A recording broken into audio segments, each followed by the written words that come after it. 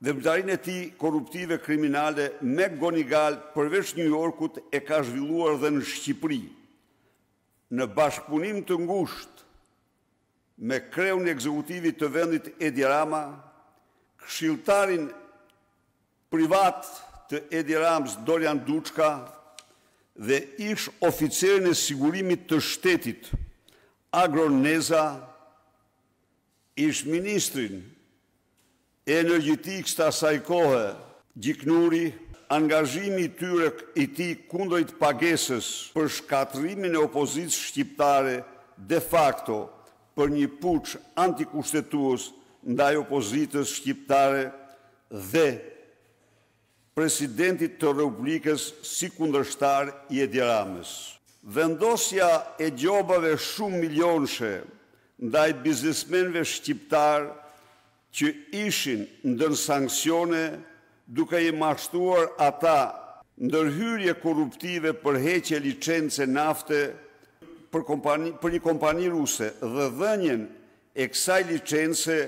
Po një kompanie tjetër ruse të kontrolluar me sa duket siç thuhet nga Oleg Deripaska. Jam sot këtu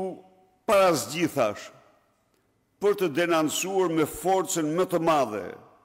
para opinionit publik shqiptar dhe ndërkombëtar indiferencën kriminale, antiligjore dhe antikushtetuese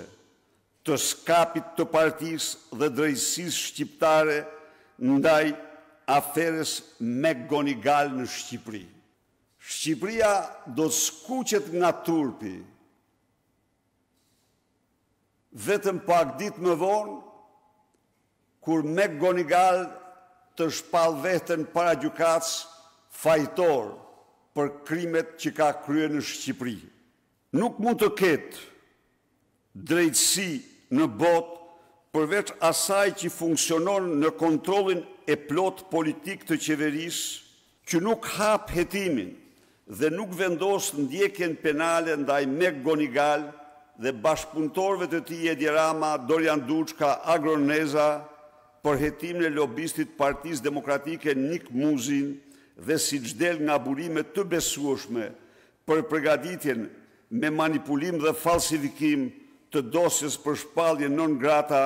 të Sali Berishës.